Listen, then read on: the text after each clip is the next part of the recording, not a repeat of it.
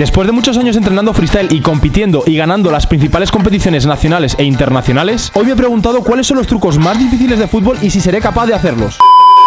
Y no solo me refiero a trucos de freestyle, sino que también me refiero a trucos de fútbol, donde ahí incluyo también los regates más difíciles. Pero claro, yo creo que hay algo que no he tenido en cuenta y es que trucos de fútbol y de freestyle hay infinitos. Bueno, infinitos no, pero hay muchísimos. Y dime tú dónde voy a sacar yo ahora mismo un top 10. Vale, tranquilo, no pasa nada. Hoy la mayoría de respuestas, o casi todas, están en Google. Así que me voy a meter en YouTube y voy a poner trucos más difíciles de fútbol. Y estoy seguro que me aparecerá un top 10 que voy a intentar en este vídeo. Eso sí, no prometo que salgan todos. Vale, pues ya estoy listo. Tengo ahí YouTube y vamos a buscarlo. Vamos a poner ahí Hardest Football Tricks para que aparezca más internacional. Pues de todas las búsquedas, la primera que aparece es esta. Así que lo que vamos a hacer es intentar todos los trucos que aparecen en este vídeo. Espérate que ahora imagínate que no saco ninguno de los trucos. Bueno, vamos a verlo. El primero de todos, hice de hecho un tutorial Y bueno, es el cerquiño de esto. O sea, que yo creo bastante fácil. Si os acordáis, es una levantada y una acá. Y si lo hago la primera, ya de locos Por algo son los más difíciles, no va a salir a la primera.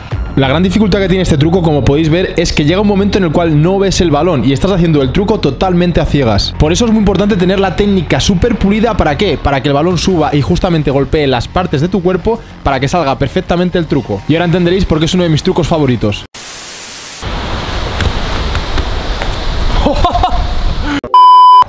El siguiente truco es uno que seguramente todos vosotros hacéis, que es la Joaquiniña o el Ocus Pocus, que es esto.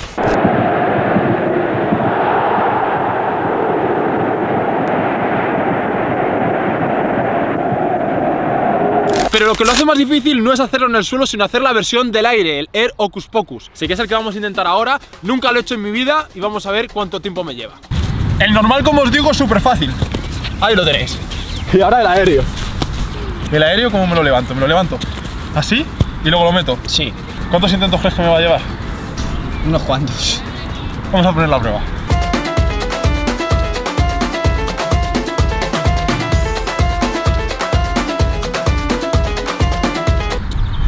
Parecía más fácil, ¿eh?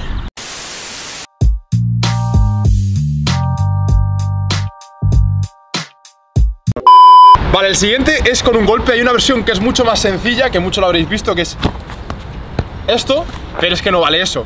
Tiene que ser de golpe. Así que a ver si lo sacamos. Uy, esto va, va en camino, va en camino.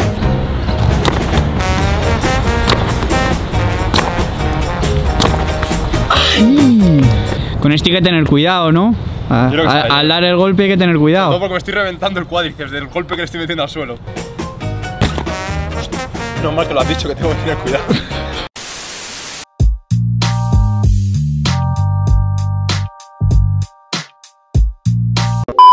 El Eclipse probablemente sea de los trucos más bonitos del freestyle, pero aún así hay muchos futbolistas profesionales que no lo hacen o probablemente yo creo que no he visto a ninguno hacerlo. Y la razón es porque cuando se hace yo creo que es difícil de entenderlo, o sea, si no te lo explican, si no lo ves de cerca o te dicen que esto se hace así, no lo consigues entender y por tanto no lo vas a intentar. Pero como aparece en esta lista de trucos más difíciles, pues me va a tocar hacerlo a mí, ahora mismo, así que vamos a ver cómo sale. Allá vamos.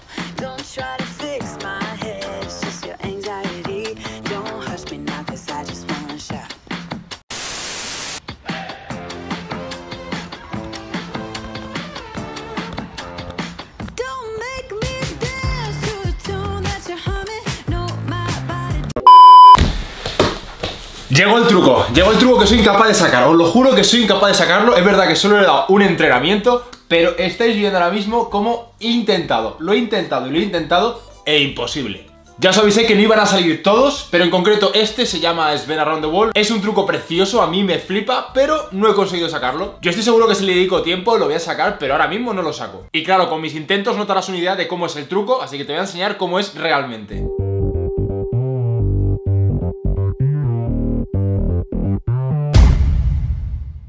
El truco que viene ahora es sin duda ese truco que toda persona que ha empezado en el freestyle ha querido sacar alguna vez en su vida. Y es un truco que fue creado por este chaval, Pale, hace ya más de 15 años. En concreto se llama Pale Around the Wall o para la gente que no sabe de freestyle, la triple vuelta al mundo. Así que aquí tenéis mi triple vuelta al mundo. Como veis a cámara lenta parece una maravilla. Y como no, yo también tuve ese momento de practicarlo a muerte y de querer sacarlo sea como sea. Pero eso sí, es un truco que hay que tener mucho cuidado. ¿Por qué? Porque como lo falles puede pasar algo como esto.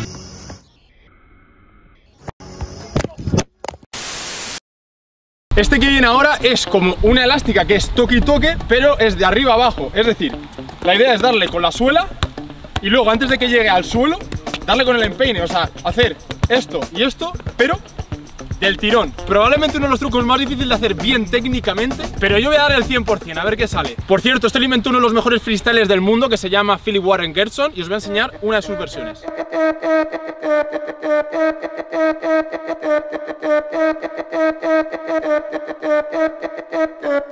gone red, I made a name for myself. I can't lie, I'm doing well for my age. My dogs said they're praying on my downfall. Well, they just choosing the casket, now they souls in the grave.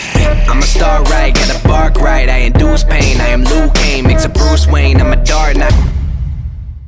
Dar toques con dos balones a la vez se ha fakeado muchas veces en televisión. Y en concreto, este anuncio de Kaká es uno de esos fakeos. Y como aparecía en el top 3 de trucos más difíciles, pues me tocaba sacarlo. Y he de decir que para mi sorpresa, no es tan difícil como parece. De hecho, os reto que lo intentéis. Así que si queréis ver el vídeo completo de cómo aprendí a dar toques con dos balones, podéis clicar aquí arriba a la derecha.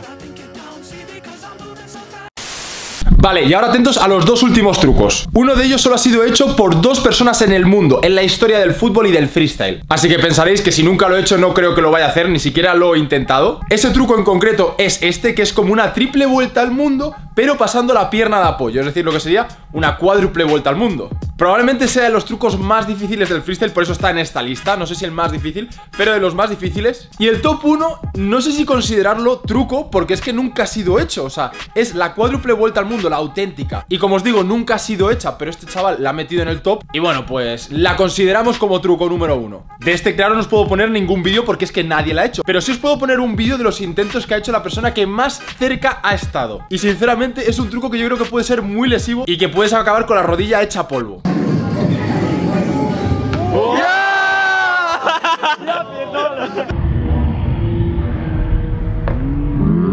Złe skarpetki. Y bueno, espero que os haya gustado el vídeo, yo creo que he dado la talla, es verdad que no he hecho todos, pero es lógico, es un top 10 de los trucos más difíciles. Y no os voy a decir más, ya sabéis que si queréis más vídeos de estos, dejad vuestro like, suscribiros. Y no sé si es el siguiente vídeo, pero uno de los que se viene va a ser muy, muy bomba. No puedo decir nada todavía, pero estáos atentos. Nos vemos muy pronto en otro vídeo. ¡Chao!